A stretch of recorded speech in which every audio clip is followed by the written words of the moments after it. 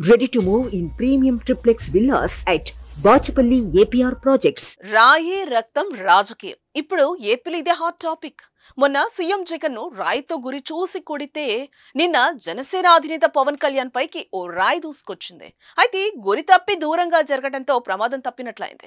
ఎన్నికల ప్రచారంలో భాగంగా పవన్ కళ్యాణ్ గుంటూరు జిల్లా తెనాలిలో ఆదివారం పర్యటించారు. అక్కడ జనసేన అభ్యర్థి నాదెండ్ల మనోహర్కు మద్దతుగా వరాహి విజయబెరి యాత్రలో పాల్గొన్నారు. ఈ సమయంలోనే వాకతాయి జనసేనాని పైకి రాయి విసిరాడు. అది వారాహి వాహనానికి దూరంగా పట్టడంతో ఎటువంటి గాయాలైతే కాలేదు దీంతో అందరూ ఊపిరి పీల్చుకున్నారు.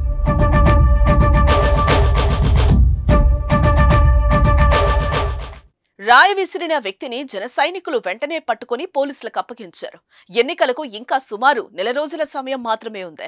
ఇలాంటి సమయంలో ఏకంగా సీఎం పార్టీ అధినేతలపైకి రాళ్ళు విసరడం ఉత్కంఠ రేపుతోంది తమ నాయకులు భద్రతపై పార్టీ శ్రేణుల్లో ఆందోళన నెలకొంది. ఇలాంటి పరిస్థితుల్లో ఎప్పుడు ఏం జరుగుతుందో అని భయపడుతున్నారు.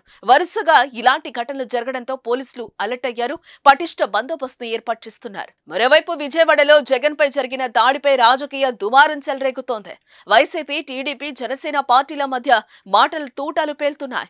ఇది టీడీపీ నాయకులు చేసిన పని అని వైసీపీ ఆరోపిస్తుంటే సీఎం జగన్మోహన్ రెడ్డి కొత్త డ్రామాలకు తెరలేపాడని టీడీపీ ఎదురుదాడి చేస్తోంది. అలాగే ఇలాంటి డ్రామాలు ఆపాలి అంటూ పవన్ కళ్యాణ్ వ్యాఖ్యానించడం చర్చనీయాంశమైంది. మరి ముందు ముందు ఏపీ రాజకీయం ఎలా మారుతుందో చూడాలి మరి.